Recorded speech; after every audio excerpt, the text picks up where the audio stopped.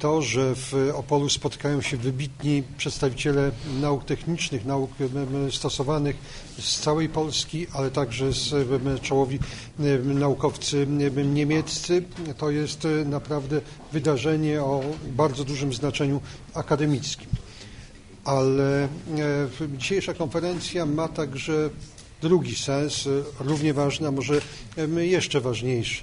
E, ona jest wyrazem jednego z najważniejszych e, partnerstw e, dla Polski, partnerstwa między Polską a Niemcami. Bardzo się cieszę, że stąd z Opola dzięki obecności pana premiera będzie płynął sygnał dla całej Polski, dla całej Europy, że ta współpraca polsko-niemiecka ma się bardzo dobrze i jej perspektywy na pewno będą się rozwijać.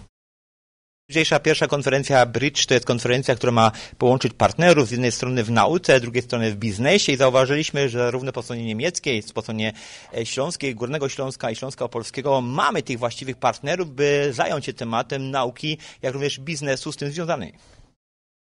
My mamy różne instytuty, różne e, przedsiębiorstwa i zawsze jest tak, jak różne różni aktorzy razem coś zrobią, to mają większe e, przejście.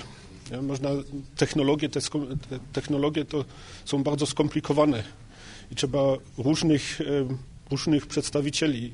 I tutaj właśnie myślimy, że znajdziemy też partnerów ze strony polskiej, które możemy wdrożyć do naszych technologii i na odwrót. A mamy taki e, z ministerium, z federalnego ministerium, mamy taki projekt większy, to jest na Internationalization of Clusters i tam też e, szukamy partnerów ze strony polskiej, także widzimy to jako platforma, żeby znaleźć tych partnerów dla nas, żeby ten most budować między nauką i przemysłem, ale także między Polską a Niemcami. Taki to jest pomysł. I teraz ja jestem, ja jestem jako organizator bardzo zadowolony, że tu taki pomysł wyszedł z tym instytutem, bo to w ogóle to jest, jak to się uda zrobić, no to już ten, ten bridge, to, to już nie, nie muszę mówić, co chcieliśmy zrobić, bo to jest, jest całkiem inne, inne przejście. Politechnika Opolska